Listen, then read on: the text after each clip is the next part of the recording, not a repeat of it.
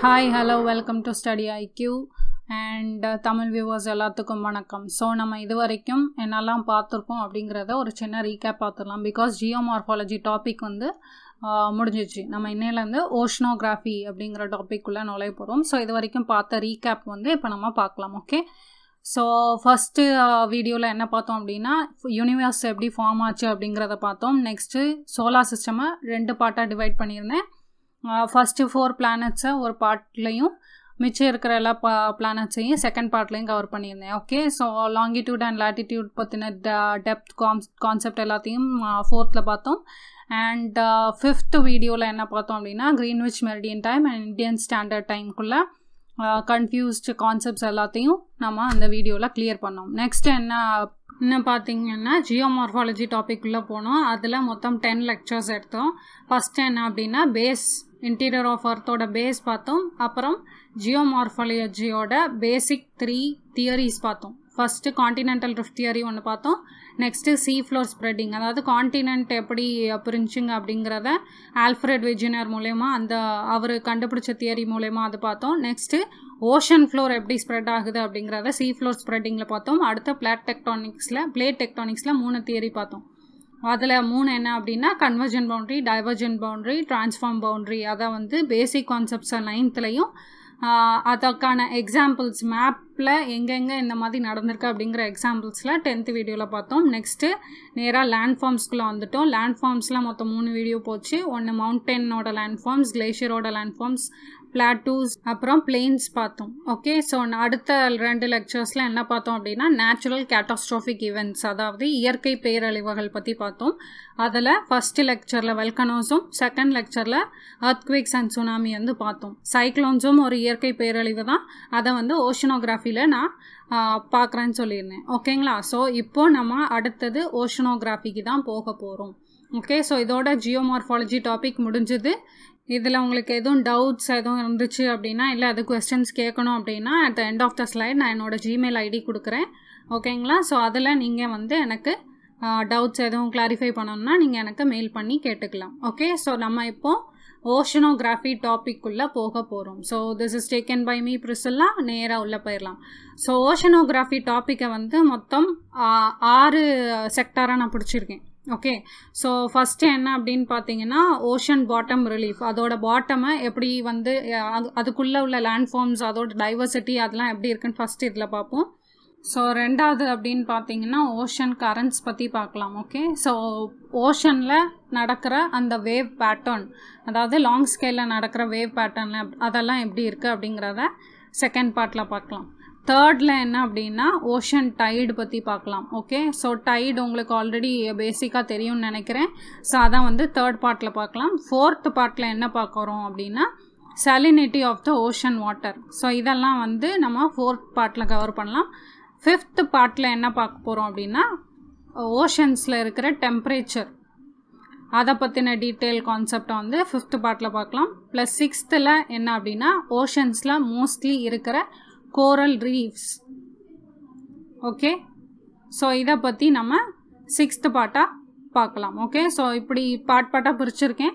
இதை வந்து as per அந்த வீடியோ லென்த்தை பொறுத்து நான் உங்களுக்கு நடத்துகிறேன் ஓகே ஸோ ஃபஸ்ட்டு டாபிக் என்ன அப்படின்னு பார்த்தீங்கன்னா ocean bottom relief okay so ocean bottom relief அப்படின்னா என்னென்னா நான் ஃபஸ்ட்டு உங்களுக்கு ஆல்ரெடி சீ ஃப்ளோ ஸ்ப்ரெட்டிங்கில் ஆல்ரெடி நடத்தியிருப்பேன் ப்ளஸ் க்ரஸ்ட்டு மொத மொதல் எப்படி ஃபார்ம் ஆச்சு அப்படிங்கிற கான்செப்ட்லேயும் நம்ம இதை பார்த்துருப்போம்.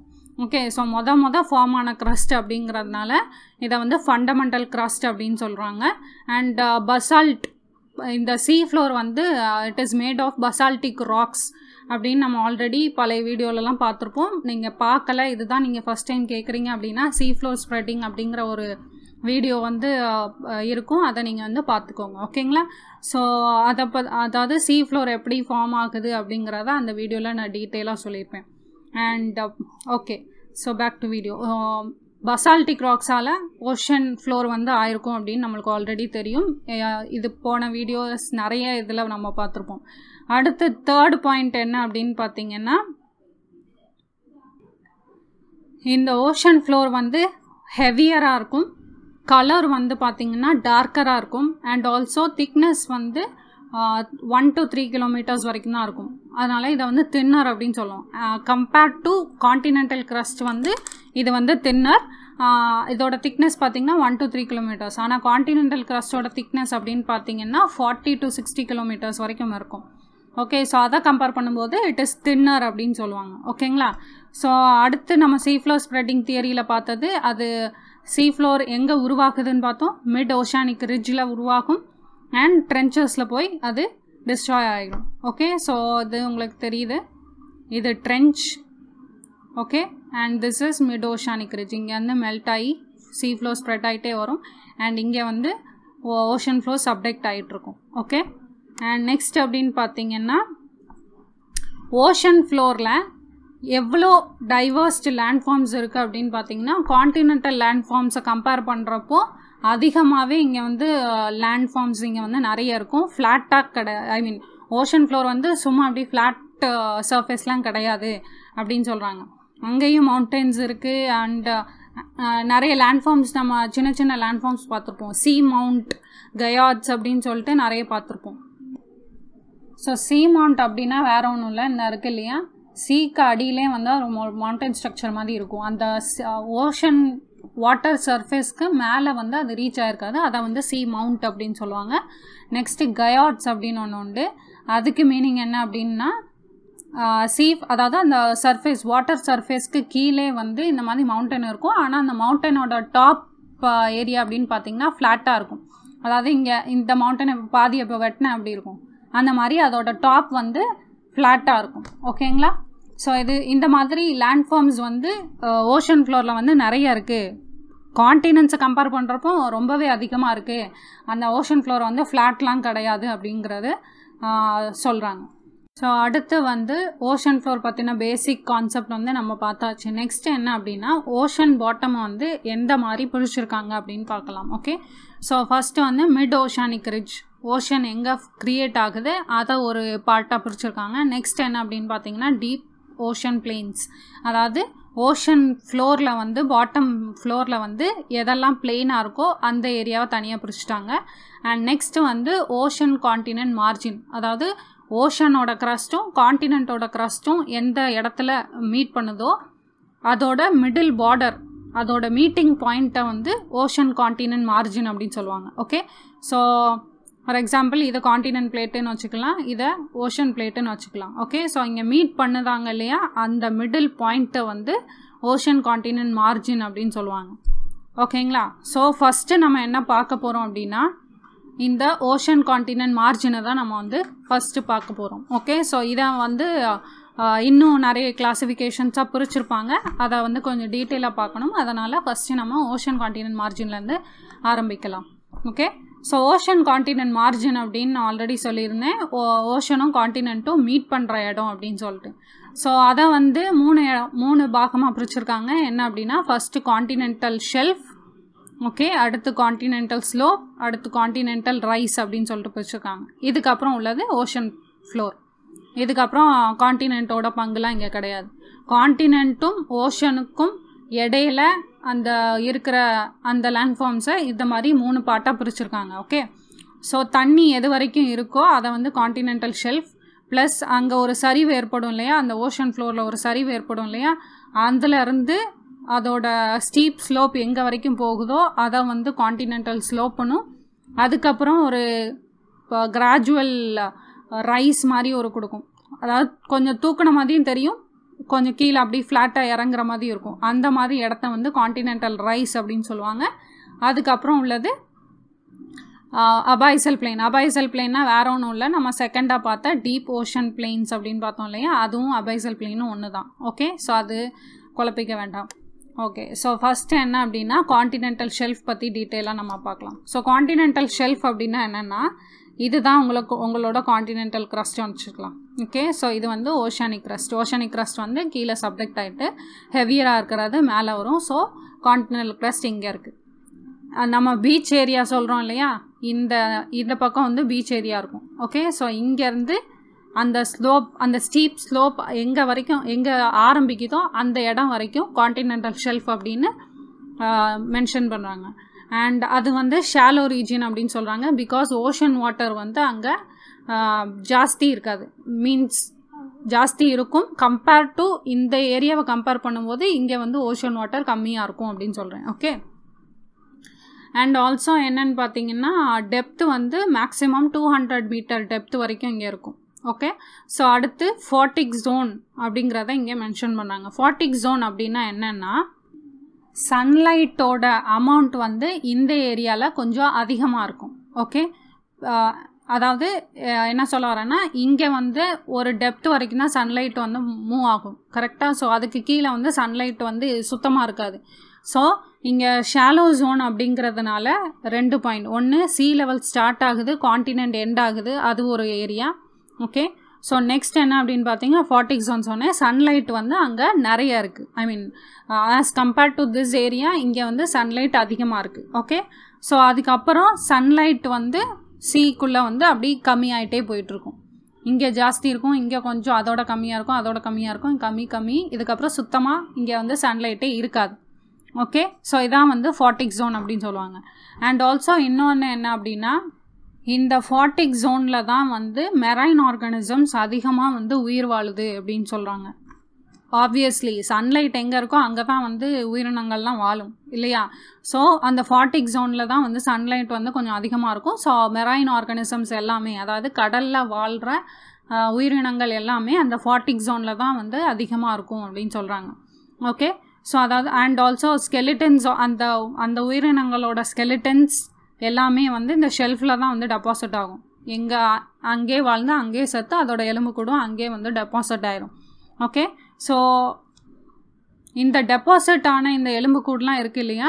அதெல்லாம் இந்த வேவ் ஆக்ஷன் மூலயமா வந்து பீச்சில் வந்து உழுன்னு சொல்லுவாங்க இல்லையா? அந்த கோஸ்டல் காண்டினென்டல் கோஸ்ட்டில் வந்து வேவ் ஆக்ஷன் மூலயமா அந்த டெபாசிட்ஸ்லாம் வந்து மூவ் ஆகும். ஓகேங்களா? ஸோ இப்போ செடிமெண்ட்ஸை வந்து ரெண்டு இதாக பிரிக்கிறாங்க. அதான் ஓகே ஸோ அது என்ன மாதிரி அப்படின்னா ஒன்று பயோஜீனியஸ் இன்னொன்று டெரிஜீனியஸ் அப்படின்னு. ஆக்சுவலி செடிமெண்ட்ஸை பிரிக்கணும் அப்படின்னா நிறைய வகையாக பிரிக்கலாம். ஒன்று ஹைட்ரோஜீனியஸ் இந்த மாதிரி பயோஜீனியஸ் டெரிஜீனியஸ் அண்ட் லித்தோஜீனியஸ் காஸ்மோஜீனியஸ் அப்படின்னு நிறைய உண்டு. ஆனால் நமக்கு அதெல்லாம் தேவையில்ல. நம்ம ஜியா ஜியாலஜியில் எதுவும் டிகிரி வாங்க போகிறதில்ல நம்மளுக்கு எக்ஸாமுக்கு எது தேவையோ அதை மட்டும் நம்ம படிக்கலாம். ஓகே ஸோ பயோஜீனியஸ் அப்படின்னா என்ன அப்படின்னா மெரைன் ஆர்கானிசம்ஸோட ஸ்கெலிட்டன்ஸாக இருக்கட்டும் அதோட ஷெல்ஸ் இதெல்லாம் வந்து டெபாசிட் ஆகிருக்கும் இல்லையா? அதெல்லாம் வந்து பயோஜீனியஸ் செடிமெண்ட்ஸ் அப்படின்னு சொல்லுவாங்க. அடுத்து டெரிஜீனியஸ் செடிமெண்ட்ஸ் அப்படின்னா என்னென்னா மெரைன் டெபாசிட் அதாவது பீச்சில் இருக்கிற அந்த டெபாசிட்ஸ் எல்லாத்தையும் எரோடு பண்ணி கடல் கொண்டு போகுது இல்லையா? அதை வந்து டெரிஜீனியஸ் செடிமெண்ட்ஸ் அப்படின்னு சொல்லுவாங்க. ஆக்சுவலி இந்த செடிமெண்ட்ஸ் ஃப்ரம் லேண்ட் வந்து இதுக்கு மட்டும்தான் பொருந்தும். ஓகே ஸோ பயோஜீனியஸுங்கிறது காண்டினென்டல் ஷெல்ஃப்லேயே செடிமெண்ட்ஸ் வந்து அங்கேயே டெபாசிட் ஆகிருக்கும் ஓகேங்களா ஸோ இதெல்லாம் எதனால் நடக்கு அப்படின்னா வேவ் ஆக்ஷன்னால் காண்டினென்டல் ஷெல்ஃப்லே வந்து எல்லாமே டெபாசிட் ஆகும் அப்படிங்கிறது தான் இதில் நான் சொல்ல வர்றது. இதில் எக்ஸாம்பிள் இங்கே இருக்குது இது வந்து பயோஜீனியஸ் செடிமெண்ட்ஸ்குள்ள எக்ஸாம்பிள் ஓகே ஸோ இது உங்களுக்கு ஆல்ரெடி தெரியும். இது வந்து ஒரு மெரைன் டெபாசிட்டோட சாரி மெரைன் ஆர்கானிசமோட ஸ்கெலிட்டன் அதோட ஷெல் ஓகே ஸோ அது வந்து பயோஜீனியஸ் செடிமெண்ட்ஸ் இது வந்து பீச்சில் டெபாசிட் ஆகிருக்கிற ஒரு மெட்டீரியல் ஸோ இது வந்து எரோட் ஆகி ஷெல்ஃபில் போய் ஸ்டோர் ஆயிரும் ஓகே ஸோ இதெல்லாம் வந்து டெரிஜீனியஸ் செடிமெண்ட்ஸ் அப்படின்னு சொல்லுவாங்க. ஓகேங்களா? ஸோ அடுத்து நம்ம என்ன பார்க்க போகிறோம் அப்படின்னா காண்டினென்டல் ஷெல்ஃபில் என்ன மாதிரிலாம் ரிசோர்ஸஸ் கிடைக்குது அப்படிங்கிறத நம்ம இப்போ பார்க்கலாம். அந்த ரிசோர்ஸஸ் மூலயமா நம்ம எக்கனாமியை டெவலப் பண்ண முடியுமா? அப்படிங்கிறத சர்ச் பண்ணுறதுக்காக இந்த மாதிரி ரிசோர்ஸஸை தேடி நம்ம கண்ட்ரீஸ்லாம் வந்து போவாங்க. ஓகேங்களா ஸோ மோஸ்ட்லி கிடைக்கிற ரிசோர்ஸ் என்ன அப்படின்னு பார்த்தீங்கன்னா petroleum reserve okay so ninety percent of the petrol வந்து காண்டினென்டல் ஷெல்ஃப்ஸ் த ஷெல்ஃப்ஸில் தான் வந்து இருக்குது அப்படிங்கிறத மென்ஷன் பண்ணியிருக்காங்க. ஓகே ஸோ ஃபார் எக்ஸாம்பிள் பார்த்தீங்கன்னா நம்ம இந்தியாவிலே வந்து பாம்பே ஹை அப்படின்னு சொல்லிட்டு ஒரு இடம். அங்கே வந்து பெட்ரோல் ரிசர்வ் அங்கே உள்ள காண்டினென்டல் ஷெல்ஃபில் பெட்ரோல் ரிசர்வ் நிறைய இருக்குது Gulf of Cambay Persian Gulf North Sea Norwegian Sea Gulf of Mexico and Barents Sea இந்த இடத்துலலாம் பார்த்தீங்கன்னா காண்டினென்டல் ஷெல்ஃப்ஸில் வந்து பெட்ரோல் ரிசர்வ்ஸ் வந்து நிறைய இருக்குது ஓகே ஸோ உங்களுக்கு வந்து கோ பெட்ரோல்லாம் எப்படி தயாராகுதுன்னு உங்களுக்கு தெரியும்னு நினைக்கிறேன். தெரியலன்னா தெரிஞ்சுக்கோங்க. கோல் எப்படி ஆகுதுன்னு உங்களுக்கு தெரியும்ல? கோல் வந்து உருவாகணும் அப்படின்னா ஒரு டென்ஸ் வெஜிடேஷன் அல்லது ஒரு டென்ஸ் ஃபாரஸ்ட் வந்து அப்படியே சப்மர்ஜ் ஆகணும். அதுக்கப்புறம் அங்கே உள்ள அந்த வுட்டெல்லாம் இருக்கு இல்லையா? அது சப்மர்ஜ் ஆனதுக்கப்புறம் அந்த வுட்டெல்லாம் டியூ டு டெம்பரேச்சர் வந்து கோலாக வந்து கன்வெர்ட் ஆகும். ஸோ அதுதான் வந்து கோலோட ப்ராசஸ் ஓகே ஸோ பெட்ரோல் எப்படி ஃபார்ம் ஆகுது அப்படின்னா லிவிங் ஆர்கனிசம்ஸ் பிளான்ட்டாக இருக்கட்டும் அனிமலாக இருக்கட்டும் அதெல்லாம் வந்து சப்மர்ஜ் ஆகி அதுக்கப்புறம் இட் டியூ டு டெம்பரேச்சர் அல்லது ப்ரெஷர் அது வந்து பெட்ரோலாக வந்து கன்வெர்ட் ஆகும். ஓகேங்களா ஸோ இதுதான் வந்து பெட்ரோலும் கோலும் வந்து ஃபார்ம் ஃபார்ம் ஆகிறதுக்கான ஒரு ப்ராசஸ் ஓகே ஸோ காண்டினென்டல் ஷெல்ஸில் அப்படின்னு பார்த்தீங்கன்னா நைன்டி பர்சன்ட் ஆஃப் பெட்ரோல் அது நம்ம ஆல்ரெடி பார்த்தாச்சு. நெக்ஸ்ட் என்ன இருக்குது அப்படின்னு பார்த்தீங்கன்னா அண்ட் உங்களுக்கு இதெல்லாம் சொல்லிடுறேன். பேரன்சி வந்து இது ரஷ்யாவில் இருக்குது ஓகே ஸோ நார்த் சி அப்படின்னு பார்த்தீங்கன்னா யூகேல இருக்குது ஓகே ஸோ இதெல்லாம் வந்து மேப்பில் நீங்கள் லொக்கேட் பண்ணி பாருங்கள் ஓகேங்களா இந்தியாலையும் வந்து பெட்ரோல் எக்ஸ்ட்ராக்ட் பண்ணுறாங்க நம்ம வந்து கல்ஃப் கண்ட்ரீஸில் வாங்கிட்டு இருக்கோம் அப்படிங்கிறதுக்காக நம்மகிட்ட பெட்ரோல் இல்லை அப்படிங்கிறத அர்த்தம் கிடையாது. இந்தியாவும் பெட்ரோல் ரிசர்வ் வச்சுருக்கு. அதை வந்து நம்ம பெட்ரோல் எடுத்து நம்மளும் எக்ஸ்போர்ட் பண்ணிக்கிட்டு தான் இருக்கோம். ஓகே ஸோ அது ஒரு இன்ஃபர்மேஷன் நெக்ஸ்ட்டு பர்ஷியன் கல்ஃபில் அதாவது கல்ஃப் கண்ட்ரீஸ் நிறைய எல்லாருமே வந்து ஆயில் சப்ளை பண்ணுறாங்க இல்லையா? அது எங்கே இருந்து சப்ளை பண்ணுறாங்க அப்படிங்கிறத பார்க்கலாம். இங்கே பார்த்தீங்கன்னா க்ரீனாக இருக்கிறது எல்லாமே ஆயில் அப்படின்னு போட்டிருக்கு. ரெட்டாக இருக்கிறது எல்லாமே gas fields okay so Persian கல்ஃபில் இங்கே பார்த்தீங்கன்னா இந்த ஏரியாவில் ஃபுல்லுமே வந்து உங்களுக்கு ஆயில் கிடைக்கும். ஸோ இங்கேருந்து தான் அவங்க வந்து பெட்ரோல் ரிசர்வ்ஸ் ஆயில்லாம் எக்ஸ்போர்ட் பண்ணுறது இங்கேருந்து தான் நம்மளுக்கு வந்து எக்ஸ்போர்ட் பண்ணுறாங்க ஓகே ஸோ இந்த ஏரியாவில் பார்த்தீங்க அப்படின்னா நேச்சுரல் கேஸ் வந்து அவங்களுக்கு ரெடிமேடாகவே கிடைக்கும். ஸோ இதை வச்சு தான் அவங்க வந்து எக்கனாமியே ரன் பண்ணிக்கிட்டு இருக்காங்க ஓகேங்களா ஸோ பர்ஷியன் கல்ஃப் அப்படின்னு பார்த்தீங்கன்னா பெட்ரோல் காண்டினென்டல் ஷெல்ஃபில் ஜாஸ்தி இருக்குது அண்ட் ஆல்சோ பர்ஷியன் கல்ஃபில் இன்னொரு என்ன ஒரு இம்பார்ட்டண்ட் இடம் அப்படின்னு பார்த்தீங்கன்னா ஸ்டேட் ஆஃப் ஹார்மோஸ் அப்படிங்கிறது. அதாவது நம்ம அரேபியன் சீயையும் பர்ஷியன் கல்ஃபையும் கனெக்ட் பண்ணுற ஒரு ஸ்ட்ரெயிட் தான் என்ன அப்படின்னு பார்த்தீங்கன்னா ஸ்டேட் ஆஃப் ஹார்மோஸ் இந்த ஸ்டேட் ஆஃப் ஹார்மோஸ் எந்த ரெண்டு கண்ட்ரிக்கு இடையில இருக்குது அப்படின்னு பார்த்தீங்கன்னா நீங்கள் நல்லா நோட் பண்ணணும். ஈரான் அண்ட் ஓமானுக்கு இடையில தான் வந்து இந்த ஸ்டேட் ஆஃப் ஹார்மோஸ் இருக்குது இந்த இங்கே ஒரு பார் லைன் இருக்குது பார்த்தீங்களா இந்த பார் லைன் பார்த்தீங்க அப்படின்னா இது ஓமான். ஓகே ஸோ யூஏஇக்கும் ஈரானுக்கும் இடையில ஸ்டேட் ஆஃப் ஹார்மோஸ் கிடையாது. ஈரான் அண்ட் ஓமானுக்கு இடையில ஸ்டேட் ஆஃப் ஹார்மோஸ் இருக்குது இதை நீங்கள் நல்லா நோட் பண்ணிக்கோங்க. மேபி உங்களை கன்ஃபியூஸ் பண்ணுறதுக்கு கேட்கலாம். ஓகே ஸோ ஹார்மோஸ் அப்படிங்கிறத எந்த கண்ட்ரிலாம் எக்ஸ்போர்ட்டுக்காக யூஸ் பண்ணுது அப்படின்னு பார்த்தீங்கன்னா ஈரான் யூஸ் பண்ணுது. ஓகே ஈராக் யூஸ் பண்ணுது. Saudi Arabia Bahrain UAE Kuwait okay Saudi Arabia Bahrain and Kuwait. இந்த எல்லா கண்ட்ரீஸுமே வந்து இந்த ஸ்டேட்டை யூஸ் பண்ணி தான் வந்து அவங்களோட பெட்ரோலை வந்து எக்ஸ்போர்ட் பண்ணுறாங்க ஓகே ஸோ இது வந்து ரொம்ப இம்பார்ட்டண்ட்டான state for the economy of these countries ஓகேங்களா ஸோ அடுத்து என்ன அப்படின்னு பார்த்தீங்கன்னா ரெட் சீயையும் அரேபியன் சீயையும் கனெக்ட் பண்ணுற ஒரு ஸ்ட்ரெயிட் அப்படின்னு பார்த்தீங்கன்னா பாபல் மந்தப் ஸ்ட்ரெயிட் அப்படின்னு சொல்லுவாங்க. எங்கள் அங்கே இருக்கு இல்லையா? Red Sea and Arabian Sea இதை கனெக்ட் பண்ணுற இந்த ஸ்ட்ரெயிட் வந்து பாபல் மந்தப் ஸ்ட்ரெயிட் ஓகேங்களா ஸோ இது இது எதுக்கு ஹெல்ப்ஃபுல் அப்படின்னு பார்த்தீங்கன்னா important because East Asian countries எல்லாத்தையும் யூரோப்போட கனெக்ட் பண்ணுற ஒரு ஸ்டேட்டாக வந்து இது அமைஞ்சிருக்கு. Okay so and also Suez கெனலுக்கும் இது வந்து ஒரு பாத்வேயாக இருக்கும். ஓகேங்களா அடுத்து சூஎஸ் கெனால் எங்கே இருக்குது அப்படின்னு பார்த்தீங்கன்னா இந்த இடத்துல இருக்கு. இங்கே ஒரு மார்க்கிங் இருக்கு இல்லையா? இதுதான் வந்து சுவேஸ் கெனால் சுவேஸ் கெனால் எதுக்கு இம்பார்ட்டன்ட் அப்படின்னு பார்த்தீங்கன்னா மெட்ரேனியன் சீயையும் ரெட் சீயையும் கனெக்ட் பண்ணுற ஒரு கேனலாக இது அமைஞ்சிருக்கும். ஓகே ஸோ இப்படி சுற்றி கடலை சுற்றி போகிறதுக்கு இந்த கேனல் வந்து ஒரு ஹெல்ப்ஃபுல்லாக இருக்கும். ஓகே ஸோ இது அதுக்கு ஆக்ஸ் ஐ மீன் மெட்ரேனியன் சீயை ஆக்சஸ் பண்ணுறதுக்கு இது ஒரு பெஸ்ட் ஒன் அண்ட் நெக்ஸ்ட் என்ன அப்படின்னு பார்த்தீங்கன்னா சுவஸ் கெனால் வந்து ஈஜிப்டில் இருக்குது ஓகே ஸோ ஈஜிப்ட் அப்படின்னு பார்த்தீங்கன்னா பாதி போர்ஷன் ஈஜிப்டோட பாதி போர்ஷன் ஏஷியாலையும் பாதி போர்ஷன் ஆஃப்ரிக்கன் காண்டினென்ட்லேயும் இருக்கும். ஓகே ஸோ ஏஷியாவில் இருக்கிற அந்த ஈஜிப்ட் போர்ஷனுக்கு பேர் என்ன அப்படின்னு பார்த்தீங்கன்னா சினாய் பெனன்சுலா அப்படின்னு சொல்லுவாங்க. ஸோ அடுத்த முக்கியமான ஒரு கல்ஃப் என்ன அப்படின்னு பார்த்தீங்கன்னா கல்ஃப் ஆஃப் எடன் அப்படின்னு சொல்லுவாங்க. இந்த எடன் எதுக்கு ரொம்ப இம்பார்ட்டன்ட் அப்படின்னா ஈஜிப்டுக்கு சவுத் ஆஃப்ரிக்கா இஸ்ரேல் ஜார்டன் இவங் இந்த எல்லா கண்ட்ரிக்கும் வந்து ரொம்ப இம்பார்ட்டன்ட் ஓகேங்களா அண்ட் ரெட் சி மூலயமா அரேபியன் சீக்கு ரீச் ஆகிறதுக்கு இந்த கல்ஃப் ஆஃப் எடன் ஒரு uh, முக்கியமான இடமா இருக்கும். ஸோ இங்கே வந்து பார்த்தீங்கன்னா மொத்தம் மூணு முக்கியமான இடம் சாரி நாலு முக்கியமான இடம் பார்த்துருக்கோம் ஃபஸ்ட்டு வந்து ஸ்டேட் ஆஃப் ஹார்மஸ் பர்ஷியன் கல்ஃபையும் அரேபியன் சீயையும் கனெக்ட் பண்ணுற இந்த இடத்துக்கு பேர் வந்து ஸ்டேட் ஆஃப் ஃபார்மர்ஸ்ன்னு சொல்லுவோம். அண்ட் இந்த கண்ட்ரீஸ் எல்லாத்துக்கும் வந்து எக்கனாமிக்கலி இந்த ஸ்டேட் வந்து ரொம்ப ஹெல்ப் ஹெல்ப் பண்ணும். பண்ணுது ஓகே ஸோ பெட்ரோலியம் எக்ஸ்போர்ட் எல்லாமே இந்த ஸ்டேட் மூலயமா தான் வந்து நடக்கும். ஓகே ஸோ அடுத்து என்ன பார்த்தோம் அப்படின்னா ரெட் சீயையும் அரேபியன் சீயையும் கனெக்ட் பண்ணுற ரெண்டு இடம். என்ன ஒன்று என்னென்னா பாபல் மண்டப் ஸ்ட்ரெயிட் அப்படின்னு சொல்லுவாங்க. இந்த ஸ்ட்ரெயிட்டுக்கு பேர் வந்து பாபல் மண்டப் ஸ்ட்ரெயிட் அந்த கல்ஃபுக்கு ரீஜன் ஐ மீன் அந்த கல்ஃபோட நேம் என்ன அப்படின்னு பார்த்தீங்கன்னா கல்ஃப் ஆஃப் எடான் ஏடான் அப்படின்னு சொல்லுவாங்க ஓகே ஸோ அந்த இடமும் ரொம்ப important for Egypt South Africa Israel and Jordan இந்த கண்ட்ரிஸ் எல்லாத்துக்குமே வந்து இந்த க இந்த ஏரியா வந்து கொஞ்சம் இம்பார்ட்டண்ட் ஓகே ஸோ மூணாவது என்ன அப்படின்னு பார்த்தோம்னா சுவேஸ் கனால் பார்த்தோம் ஓகே மெட்ரேனியன் சீயையும் ரெட் சீயையும் கனெக்ட் பண்ணுற ஒரு இடம் ஓகே ஸோ இங்கே சுவேஸ் கனால் இருக்குது ஓகேங்களா? And also single most port in Israel அப்படின்னு பார்த்தீங்கன்னா ஐலாட் போர்ட் அப்படின்னு சொல்லுவாங்க.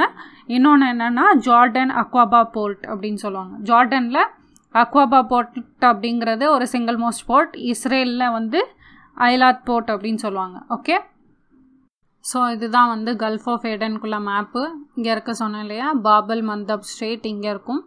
And this is gulf of Aden okay so இது பார்த்துக்கோங்க. அண்ட் uh, இஸ்ரேலில் இருக்கிற ஒரு சிங்கிள் மோஸ்ட் போர்ட் என்ன சொல்லியிருந்தேன்? ஐலாட் போர்ட் அண்ட் ஜார்டனில் uh, இருக்கிற ஒரு சிங்கிள் மோஸ்ட் போர்ட் என்ன அப்படின்னு பார்த்தீங்கன்னா அக்வாபா போர்ட் ஓகே அது பார்த்துக்கோங்க நெக்ஸ்ட் என்ன அப்படின்னு பார்த்தீங்கன்னா பேரன்சி பேரன்சியில் பெட்ரோல் ரிசர்வ்ஸ் நிறைய இருக்குது அப்படின்னு எக்ஸாம்பிளில் பார்த்தோம். இது எங்கே இருக்குது அப்படின்னு பார்த்தீங்கன்னா ரஷ்யாவுக்கு மேலே மேல் பகுதியில் இருக்குது ஓகே இங்கே இங்கே பார்க்கலாம். நார்வே ஸ்வீடன் ஃபின்லாண்ட் இந்த ஏரியாலாம் பார்க்கலாம்.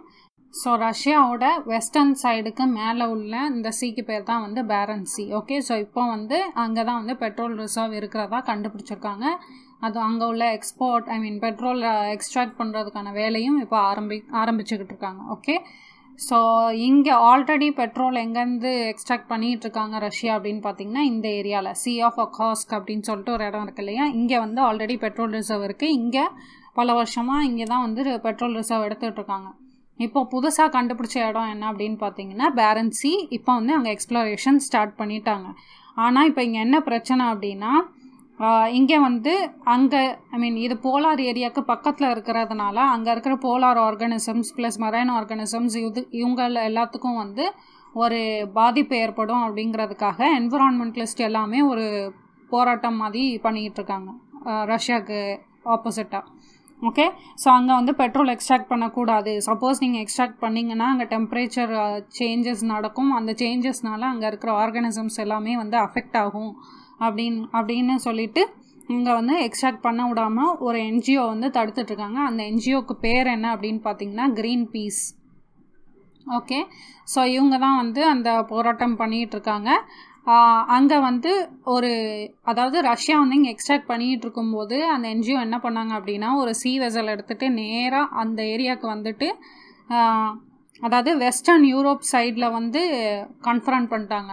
நீங்கள் வந்து இங்கே எக்ஸ்ட்ராக்ட் பண்ணக்கூடாது அப்படின்னு சொல்லிட்டு அங்கே வந்து தடுத்து நிறுத்தாங்க அந்த சி வெசலுக்கு பேர் என்ன அப்படின்னு பார்த்தீங்கன்னா ரெயின்போ வாரியர்ஸ் ஓகே ஸோ இதுதான் அந்த சி வெசலோட பேர். அண்ட் போராட்டம் அந்த என்ஜிஓ பேர் வந்து க்ரீன் பீஸ் அப்படின்னு சொல்லிட்டு. ஓகே ஸோ ரஷ்யாவோட எக்கனாமி வந்து இப்போ ரொம்பவே டவுன் ஆகிட்டு ஸோ இப்போ வந்து அவங்க எதை டிபெண்ட் பண்ணியிருக்காங்க அப்படின்னா ஒன்று டிஃபென்ஸை டிபெண்ட் பண்ணியிருக்காங்க. நெக்ஸ்ட்டு அடுத்த நெக்ஸ்ட் என்ன அப்படின்னு பார்த்தீங்கன்னா ஆயிலை டிபெண்ட் பண்ணி தான் இருக்காங்க.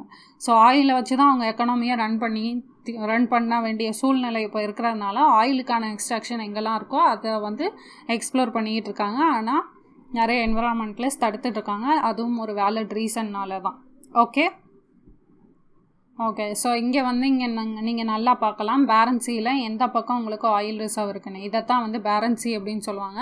Oil reserve and gas fields எங்கே இருக்குது அப்படின்னு பார்த்தீங்கன்னா இந்த போர்ஷனில் இருக்குது ஓகே ஸோ இங்கே இந்த காண்டினென்டல் ஷெல்ஃபில் தான் வந்து ரஷ்யா வந்து எக்ஸ்ட்ராக்ட் பண்ணணும் அப்படின்னு சொல்கிறாங்க இதுக்கு பக்கத்தில் பார்த்தீங்க அப்படின்னா இது எல்லாமே ஆர்டிக் சர்க்கிள்குள்ளே வர் வர்ற ஒரு இடம். ஓகே ஸோ இந்த இடம் பார்த்திங்கன்னா ஆர்டிக் சர்க்கிள் இருக்கிற இடம். ஸோ இந்த இடத்துல வந்து polar for example polar bears எடுத்துக்கலாம்.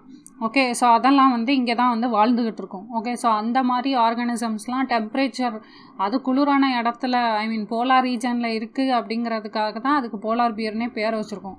ஸோ அங்கே டெம்ப்ரேச்சர் சேஞ்சஸ் வந்து அது அஃபெக்ட் ஆகும் அப்படிங்கிறதுக்காக அந்த ஆர்கானிசம்ஸ்லாம் அஃபெக்ட் ஆகும் அப்படிங்கிறதுக்காக இந்த என்விரான்மெண்டல்ஸ்லாம் போராடிட்டு இருக்காங்க ஓகே ஸோ அடுத்து என்ன அப்படின்னு பார்த்தீங்கன்னா ஆர்டிக் ஓஷனில் ஆர்டிக் ஓஷன்லேயும் வந்து இப்போது பெட்ரோல் ரிசர்வ் இருக்கிறதா வந்து இப்போ கண்டுபிடிச்சிருக்காங்க. ஆனால் முந்தி வந்து ஆர்டிக் சர்க்கிள் அப்படின்னு பார்த்தீங்கன்னா எல்லாமே பனிக்கட்டியாக இருக்கும் அப்படிங்கிறதுக்காக அங்கே சீ ரூட் எதுவுமே பெருசாக இல்லை.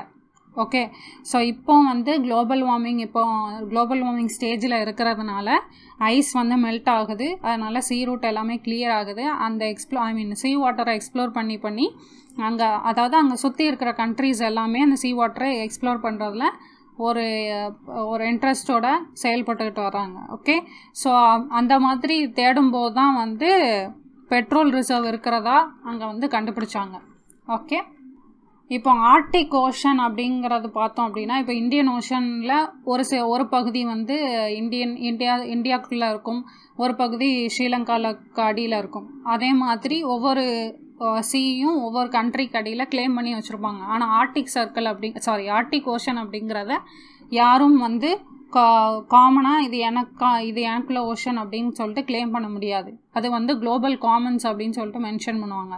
எதனால் அப்படின்னா யாரும் பர்டிகுலராக எந்த கண்ட்ரியும் பர்டிகுலராக போய் கிளைம் பண்ண முடியாது. அது எல்லாத்துக்கும் சொந்தமான ஒரு ஓஷன் அப்படிங்கிறத மென்ஷன் பண்ணுறதுக்காக தான் ஓகே ஸோ இங்கே வந்து இப்போ என்ன நடக்கு அப்படின்னா ஒரு மல்டிலேட்ரல் ஆர்கனைசேஷன் எல்லாரும் சேர்ந்து அதாவது ஒரு ஆர்டிக் கவுன்சில் அப்படின்னு பேர் வச்சு ஒரு நிறைய பேர் சேர்ந்து அதாவது இது நடந்தது எப்போ அப்படின்னு பார்த்தீங்கன்னா நைன்டீன் நைன்ட்டீஸில் நடந்துச்சு ஓகே இந்த டைமில் என்ன நடந்துச்சு அப்படின்னா இவங்கெல்லாம் ஒரு கவுன்சில் அதாவது இந்த சுற்றி இருக்கிற கண்ட்ரீஸ் எல்லாம் ஒரு ஆர்டிக் கவுன்சில் ஒரு ஆர்கனைசேஷன் மாதிரி ஃபார்ம் பண்ணி அங்கே இருக்கிற ட்ரைபல்ஸுக்கோ இல்லை வேறு எதுவும் இஷ்யூஸ் அங்கே நடந்தாலும் அந்த பிரச்சனையை தீர்க்கறதுக்காக ஒரு கவுன்சில் மாதிரி இங்கே ஃபார்ம் பண்ணாங்க ஓகேங்களா ஸோ பெட்ரோல் ரிசர்வ் இங்கே இருக்குது அப்படின்னு தெரிஞ்ச உடனே மித்த எல்லா கண்ட்ரியும் என்ன பண்ணுச்சு? இந்த கவுன்சிலில் வந்து நாங்களும் மெம்பர்ஷிப் எங்களுக்கும் வேணும் அப்படிங்கிறதுக்காக எல்லா கண்ட்ரியும் போட்டி போட ஆரம்பித்தாங்க ஸோ இப்போதைக்கு பார்த்தீங்க அப்படின்னா இந்தியாவுக்கு பர்மனெண்ட் அப்சர்வேட்டரி ஸ்டேட்டஸ் வந்து ஆல்ரெடி கிடச்சிருச்சு. ஓகே ஆல்ரெடி ஆர்டிக் கவுன்சில் நேஷன்ஸில் யாரெல்லாம் இருந்தாங்க அப்படின்னா இந்த கண்ட்ரீஸ்லாம் இருந்தாங்க. United States Canada Greenland Norway Iceland and Russia இவங்கெல்லாம் வந்து இருந்தாங்க. இப்போ புதுசாக இந்த பெட்ரோல் ரிசர்வ் இருக்குன்னு தெரிஞ்ச உடனே UK Germany France Italy South Korea China Japan இவங்க எல்லாருமே வந்து மெம்பர்ஷிப்காக போராடினாங்க. அவங்களுக்கெல்லாம் இப்போ பர்மனெண்ட் அப்சர்வேட்டரி ஸ்டேட்டஸ் வந்து கிடச்சிருச்சு. இதில் ஆல்சோ இன்க்ளூடட் ச இந்தியாவும். இந்தியாவுக்கும் வந்து பர்மனெண்ட் அப்சர்வேட்டரி ஸ்டேட்டஸ் வந்து இப்போதைக்கு கிடச்சிட்டு ஓகேயா ஸோ ஆர்டிக் ஓஷன் பற்றி இவ்வளோ தான் இதில் நல்லா பார்த்தீங்கன்னா உங்களுக்கு தெரியும். இந்த ஏரியா ஃபுல்லுமே வந்து ஆர்டிக் கவுன்சில் கிளைம் பண்ண ஏரியா ஓகே ஸோ இதுக்கு நடுவில் இருக்கிறது வந்து uh, இன்டர்நேஷ்னல் வாட்டர்ஸ் இதை வந்து யாரும் கிளைம் பண்ண முடியாது. இட் இது வந்து இதை வந்து காமனாக எல்லாத்துக்கும் உள்ளது. ஓகே ஸோ இந்த ஏரியா எல்லாத்தையும் வந்து ஆர்டி கவுன்சில் இப்போ யூஸ் பண்ணிகிட்டு இருக்காங்க.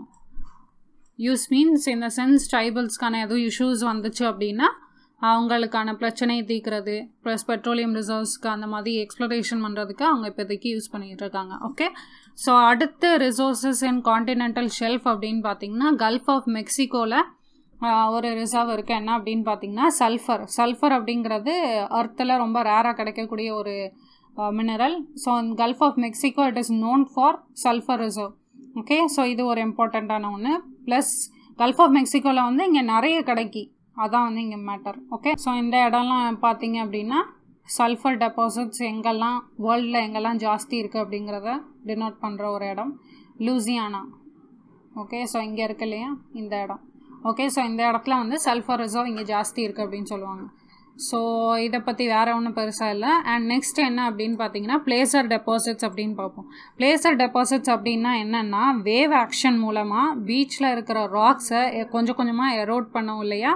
அந்த எரோட் பண்ண ராக்ஸ்லேருந்து உள்ள மினரல்ஸ் எல்லாமே வந்து டெபாசிட் ஆகும். அதை தான் வந்து பிளேசர் டெபாசிட்ஸ் அப்படின்னு சொல்லுவாங்க. இப்போ ராக்ஸ்லாம் வந்து எப்படி ஃபார்ம் ஆகுது? உள்ள இன்டீரியர் ஆஃப் இருந்து வெளியே வருது அது சொலிடிஃபை ஆகி அது ரா ஒரு மவுண்டனாகவும் ராக்காகவும் வந்து ஃபார்ம் ஆகுது இல்லையா? ஸோ அப்போ இன்டீரியர்லேருந்து வருது அப்படின்னா உள்ள அர்த்துலேருந்து இருக்கு அர்த்தில் இருக்கிற மினரல்ஸும் அந்த ராக்கில் வந்து சொல்டிஃபை ஆகும்போது அது கூட சேர்ந்தே வந்து சொல்டிஃபை ஆகிருக்கும் கரெக்டாக ஸோ இப்போ உங்களுக்கு ஃபார் எக்ஸாம்பிள் சொல்லணுன்னா இப்போது பீச்சில் வந்து நின்றுட்டுருக்கீங்க ஒரு கல்லில் வந்து நிறைய மண் ஒட்டி வச்சுட்டு அந்த வேவ் பக்கத்தில் போய் நின்னீங்க அப்படின்னா ஈஸியாக அதை வந்து எக்ஸ்ட்ராக்ட் ஆகி அதாவது வேவ் ஆக்ஷன் வரும்போது அந்த மணல் எல்லாத்தையும் வந்து இழுத்துட்டு போயிடும் இல்லையா? ஸோ அதே மாதிரி தான் இந்த கான்செப்ட் லைட்டர் மினரல்ஸ் ஏதாவது இருந்துச்சு அப்படின்னா வேவ் ஆக்ஷன் மூலயமா அது ஈஸியாக ஷிஃப்ட் ஆகிட்டே இருக்கும். ஓகே ஸோ லைட்டர் மினரல்ஸ் எல்லாமே ஷிஃப்ட் ஆயிரும். வெயிட்டாக இருக்கிற ஹெவி மினரல்ஸ் எல்லாம் என்ன பண்ணும் அப்படின்னா அந்த ஷெல்ஃப்லேயே வந்து அந்த ஐ மீன் கான்சன்ட்ரேஷன் கலந்து கலந்து அந்த ஷெல்ஃப்லேயே வந்து டெபாசிட் ஆயிரும். ஓகே ஸோ அந்த மாதிரி டெபாசிட்ஸ் எல்லாத்தையும் வந்து பிளேசர் டெபாசிட்ஸ் அப்படின்னு சொல்லுவாங்க. ஓகே ஸோ வேறு எந்த மாதிரி காமன் ரிசோர்ஸ் என்னெல்லாம் கிடைக்கும் அப்படின்னு பார்த்தீங்கன்னா ஒன்று கால்சியம் கால்சியம் உங்கள் யாருக்கும் மறக்காதுன்னு நினைக்கேன் பிக் பாஸ் காயத்ரியை ஞாபகம் வச்சுக்கோங்க உங்களுக்கு மறக்காது. இது எதனால் இங்கே ஈஸியாக கிடைக்கும் அப்படின்னு பார்த்தீங்கன்னா இது வந்து சீக்கிரம் ஓஷன் வாட்டரில் வந்து டைல்யூட் ஆகாது. அதனால் இங்கே வந்து ஈஸியாக வந்து இதை எக்ஸ்ட்ராக்ட் பண்ணிடுவாங்க கால்சியமாக ஓகே ஸோ இது வந்து ஜாஸ்தி எங்கே கிடைக்கும் அப்படின்னு பார்த்தீங்கன்னா பெருவியன் கோஸ்ட் அப்படிங்கிற இடத்துல வந்து இந்த கோஸ்ட்டில் வந்து ஜாஸ்தி கால்சியம் கிடைக்கும்.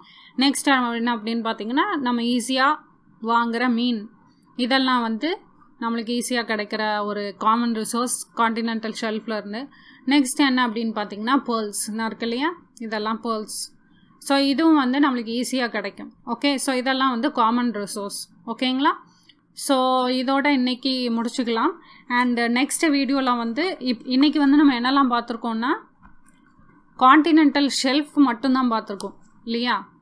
இங்கே yeah oh, division of ocean பாட்டமில் வந்து ஓஷன் காண்டினென்ட் மார்ஜின் பார்த்தோம். அந்த ஓஷன் காண்டினென்ட் மார்ஜினில் மூணு பார்ட் சொல்லியிருந்தேன். அதில் வந்து காண்டினென்டல் ஷெல்ஃப் மட்டும் இன்றைக்கி பார்த்துருக்கோம். இது கொஞ்சம் எலாபரேட்டாக இருந்ததுனால இது பார்த்தோம். மிச்சம் இந்த இந்த ரெண்டு வந்து ஐ மீன் ஜாஸ்தி இருக்காது. பிகாஸ் இங்கே வந்து ரிசோர்ஸஸ் இங்கே இருந்ததுனால இங்கே வந்து நம்மளுக்கு இவ்வளோ டைம் ஆயிடுச்சு ஸ்லோப்பும் ரைஸ்லேயும் வந்து ரிசோர்ஸஸ் ஜாஸ்தி இருக்காது. அதனால நம்மளுக்கு அது சீக்கிரமாக முடிச்சிடும் okay so slope rise plus deep oceanic plains இதெல்லாம் வந்து நம்ம அடுத்த வீடியோவில் பார்க்கலாம். Okay okay so thank you for listening the class and any doubts any questions உங்களுக்கு கேட்கணும் அப்படின்னா கீழே கமெண்ட் பாக்ஸில் கேளுங்க. இல்லாட்டி என் மெயில் ஐடி கொடுக்குறேன். ஸோ இதுதான் என்னோட மெயில் ஐடி பிக் பாஸ் பார்த்த எல்லாத்துக்கும் வந்து தெரிஞ்சிருக்கும். இந்த நேம் வந்து கொஞ்சம் நல்லா டேமேஜ் ஆகிட்டு அதனால் நம்ம இந்த பேரை இப்போதைக்கு பெருசாக யூஸ் பண்ணுறதில்ல ஃப்ரெண்ட்ஸு ஃபேமிலி பிற எல்லோரும் இந்த நேம் வச்சு கிண்டல் பண்ண ஆரம்பிச்சிட்டாங்க. அதனால் இப்போ கொஞ்சம் யூஸ் பண்ணுறதை அப்படியே நிறுத்திட்டேன். இப்போ ஒன்றும் பிரச்சனை இல்லை. எல்லாம் முடிஞ்சு போச்சு இல்லையா? So back to my name Julie Priscilla at Gmail dot com okay okay so any questions எதுவும் இருக்குது எதுவும் டவுட்ஸ் இருக்குது அப்படின்னா எனக்கு மெயில் பண்ணணுன்னா நீங்கள் தனியாக மெயில் பண்ணி கேட்டுக்கலாம். Okay so this is my name Julie Priscilla at Gmail dot com ஸ்லைடில் வந்து டபுள் எல் போட்டிருப்பேன். அதான் ஒரிஜினல் நேம் பட் இமெயில் ஐடியில் சிங்கிள் எல் இருக்கும். ஸோ பார்த்து மெயில் பண்ணுங்கள் okay thank you for listening the class and bye